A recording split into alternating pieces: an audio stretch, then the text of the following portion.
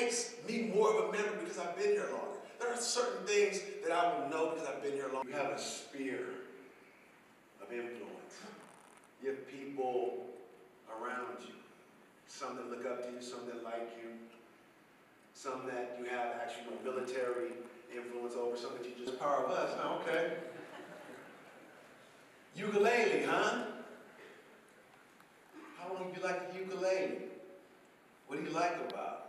How many countries have you been to? Who's given you this free gift to build the power of us.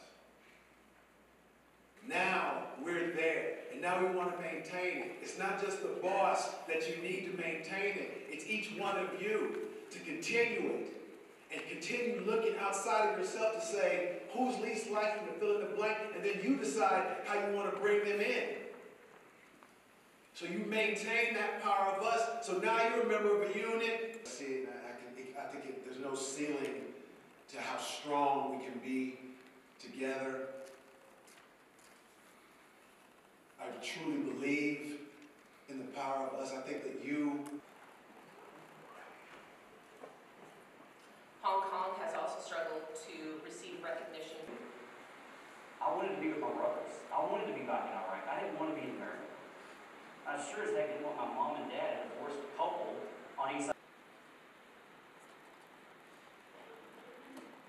For surveillance ex exportation, we aren't just seeing identifying, we aren't just identifying the surveillance of uh, China, so within China. Each and every day that you're preparing yourself mentally and physically because you never know when an evil person is going to, you know, invade a country or going to affect the United States. That's, that's for real. Like, it's not just cliche, it's not just a saying. My buddy, who, best friend, sat next to me holding my hand. As and I'll answer this in a few, but I kept seeing this like white bag in my head. And like, I don't know why, this like this image was just like placed in front of my eyes. And I didn't know what it was. Because everything happened so quick and then being in coma for three weeks. But you know, there's one story of a corpsman that I had who, you know, and she was just like every other corpsman. I would tell them no, she would tell me yes. All right.